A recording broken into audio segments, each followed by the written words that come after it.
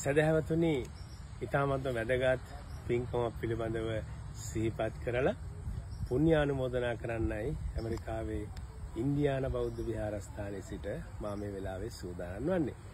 මේ එන සෙනසුරාදා ලෝකේ ඉතාමත්ම අසිරිමත්ම පින්කමක් සිද්ධ වෙන බව ඔබ හැම දිනාටම සිහිපත් කරන්න ඕන. මොකක්ද මේ පින්කම?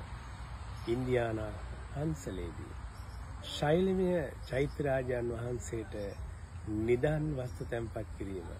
ඒ වගේම රහතන් වහන්සේලාගේ ධාතුන් වහන්සේලා තැන්පත් කිරීම. මේ ආදි වශයෙන් ඊටමත් වැදගත් පින්කම් රසක් සිද්ධ වෙන ඊටමත් වාසනාවන්ත දවසක් තමයි මේ සෙනසුරාදා අපි හැමදෙනාට එළඹෙන්නේ.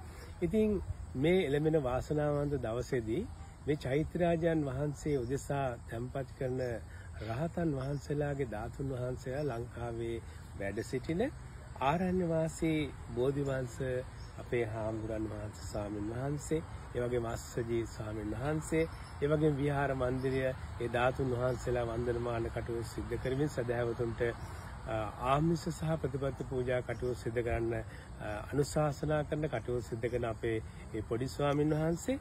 උන්වහන්සේලාගේ කාරුණික දායකත්වය තුළින් මේ ධාතුන් වහන්සේලා අපේ විහාරස්ථානයට වැඩම කරන්න යෙදුණා. ඉතින් විශේෂයෙන්ම මේ කටයුතු සඳහා අපට විශේෂ දායකත්වයක් ලබා දෙන්නේ අපේ ඉන්දියානු බෞද්ධ විහාරස්ථානයේ දායකත්වයේ දරමින් කටයුතු සිදු කරන අපේ දොස්තර සුනීත මහත්මයා, ඒ වගේම දොස්තර ලංකනෝන පුතා දුව.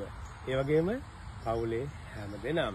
ඉතින් මේ කටයුතු සිදු කරන්නේ ඒ ඇත්තන්ට ශක්තිය ලබා දුන්නේ මේ ධාතුන් වහන්සේලා ආරණ්‍ය සේනාසනයේ ඉඳලා කෝට්ටේ ඓතිහාසික රජමහා විහාරස්ථානට වැඩම කරවලා අපට ලබා දුන්නේ අපේ ඊටාත්ම සතුටින් මේ වෙලාව මතක් කරන්නේ එරන්දි කලන්සුරේ නෝනා සහ පවුලේ සෑම දෙනාම.